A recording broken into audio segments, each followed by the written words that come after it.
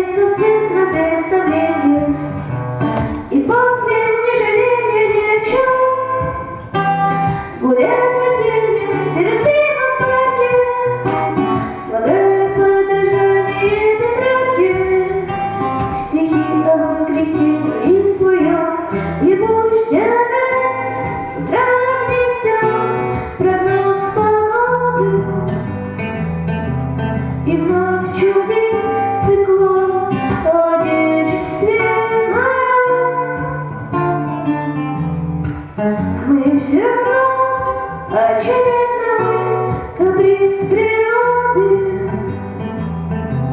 переживем, который нас переживем.